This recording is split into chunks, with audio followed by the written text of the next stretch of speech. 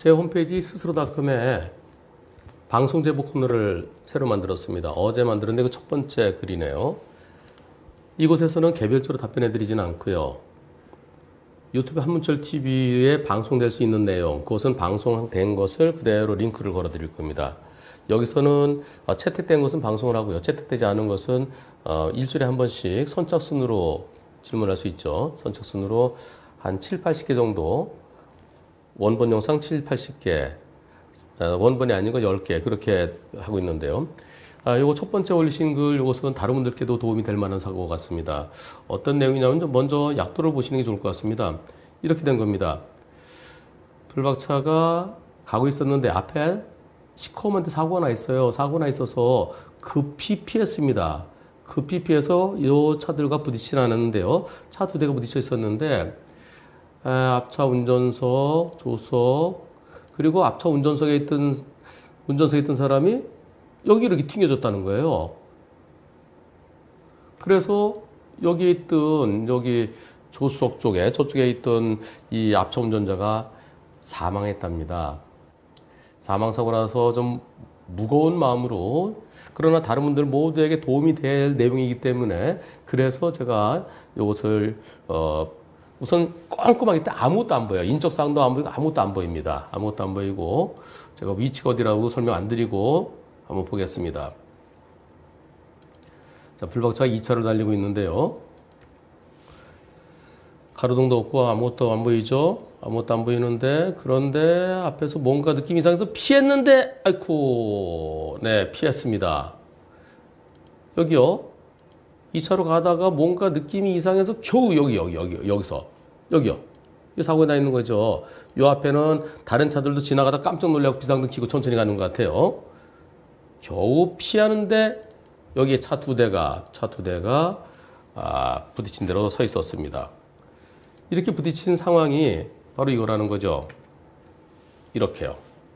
이렇게 한 대가 서 있고 또 한 대 서 있고 근데 앞차 운전자가 왜 이쪽에 나와 있었는지 모르겠습니다. 그러면서 사고 내용을 보니까요.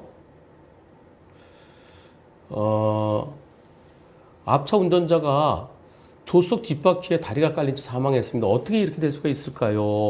허허, 참. 예, 처음에 사고 현장에 갔을 때 앞차 운전자, 앞차, 앞차 운전자가 앞차 조수석 쪽 뒷바퀴 쪽에 사람이 있는 걸 보고 119 신고하고 현장으로 뛰어갔습니다. 심폐소생술 1, 2분 정도 하다가 의식을 차리고 어, 그리고 잠시 뒤에 가서 뒷차를 보고 있습니다. 뒤에 갔더니 조수석에는 아이가 코피를 흘리고 있었고, 운전석 여성분이 가슴을 후려잡고 계셨습니다. 그래서 제 동승자가 조수석에 아이를 꺼내 달래고 있- 있고, 그리고 여성 운전자를 꺼내서 좀 떨어진 곳에 있게 하겠습니다. 음, 그래서 지나가는 남성분들에게 도움을 청, 청했고, 그 앞차를 들어서 그 다리가 깔린 조수석 뒷바퀴 쪽에 다리가 깔린 여성을 꺼냈는데요. 그때 구급차가 싣고 갔지만은 근데 한 시간 후에 사망했다는 소식을 들었습니다.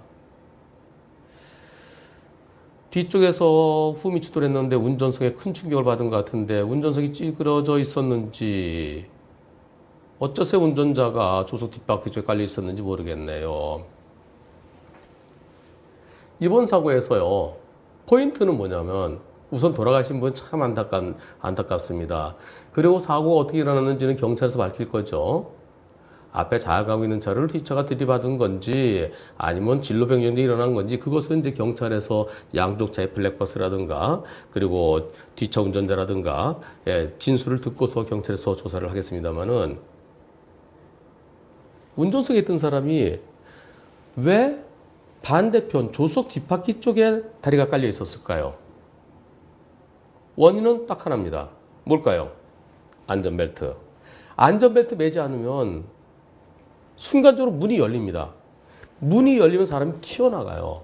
튀어나오고 각도에 따라서 사람이 전혀 엉뚱한 데로 날아가는 경우가 있습니다. 승용차 유리창 조그맣죠? 여러분들 그 유리창 열고서 거길로 들어가려고 해보세요. 들어가실까요? 일부러 들어가려고 해보세요. 안 들어가집니다. 그런데, 그런데 안전벨트 안 매고 쾅 사고 날 때 사람이 열리는 유리창으로 뻥 튕겨나갑니다. 그래서 사고 나서 차가 벼랑으로 구를 때요. 차에만 안전벨트 매고만 있으면은 쿵쿵쿵 가다가 나무에 부딪히고 그러면은 괜찮을 살 수 있어요. 근데 사람이 튕겨 나가서 사망합니다. 튕겨 나가서 안전벨트 안 하면 차에서 튕겨 나가요. 문이 열릴 수도 있고요. 열린 창문 튕겨 나갈 수도 있고요. 창문 깨질 수도 있고요.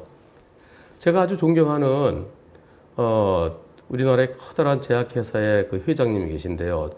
저랑 개인적으로 참 친하신 분입니다. 그 사모님께서 이게 사모님들끼리 어디 다녀오시다가 커브길에 차가 미끄러지면서요. 벼랑으로 15m 벼랑으로 굴렀는데요. 그 차에 타고 계셨던 분들은 다 괜찮으셨어요. 안에 계셨던 분들은. 근데 그 사모님은 차 밖으로 차 밖으로 튕겨지면 머리가 바위에 부딪힐 수도 있고요. 그래서 안전벨트가 제일 이게 문제입니다. 안전벨트만 하고 계셨으면은 차는 이 껍질이 있잖아요. 물론 차가 완전히 압착되는 정도라 그러면은 그러면 어쩔 수 없지만 그러나 차는 이 보호막이 있습니다. 그래서 쿵쿵쿵쿵 하더라도 안전벨트를 메고 있으면은 그러면 살 수 있죠. 다치더라도 큰, 크게 다치지는 않죠. 근데 안전벨트 매지 않 제가 상담했던 사건 중에서는요. 고속도로에서요. 고속도로 친구들끼리 놀러 가다가 차가 앞차로 통 부딪혔는데요. 사람이 어디로 튀어나갔을까요? 사람이 차 밖으로 튀겨나갔어요. 근데 유리창 다 닫고 있었고요. 문 안 열렸습니다. 근데 사람이 튀겨나갔어요. 다행히 뒤에서 오던 차들이 멈춰줘서 2차 사고 없이 목숨 건지고 그 장애는 조금 남았지만 아주 크게 다치지 않았는데요. 사람이 어디로 튕겨났을까요? 썬루프. 썬루프를 열고서 그리고 여름에 이렇게 운전해서 가고 친구들하고 장, 아 기분 좋다 오늘 놀러 가면서 그런데 순간적으로 쿵 사고 나면서 사람이 위로 튕겨갔고 그래서 차가 휘청할 때 썬루프 바깥으로 튕겨서 고속도로 바닥에 떨어진 사건도 있었습니다. 이번 사고 참 안타까운 일인데요. 음, 이번 사고는 제가 뭐 이 밤에 사고나 서 있던 차, 그 차를 만약에 내가 들이받았으면 과실이 어떻게 되지 그런 얘기는 하지 않겠습니다. 이번 사고를 통해서 여러분들이 꼭 기억해 두셔야 될 거. 안전벨트. 바- 안전벨트 클립을 바로 끼워야 됩니다. 택시 운전하시는 분 대충 걸치기만 하는 분들 계세요. 안전벨트 미착용으로 3만 원짜리 범칙금, 그 딱지 떼일까봐. 딱지가 중요한 게 아니라 내 목숨을 잃을 수 있습니다. 그리고 승용차와 택시 중에 제일 위험한 자리가 어디냐면요. 뒷좌석 가운데입니다. 뒷좌석 가운데는 요 안전벨트 여기 매기 시안 매고 있죠. 그러다가 갑자기 중앙선 침범한 차랑 사고 당하면 뒤에 차- 사람이 앞으로 뻥 튕기면서 앞, 앞에 운전석과 조석 사이 거기를 뚫고 유리창을 뚫고 나갑니다. 박격포처럼 뚫고 나갑니다. 거의 다 사망합니다. 그렇게 뚫고 나가면 안전벨트, 생명벨트입니다.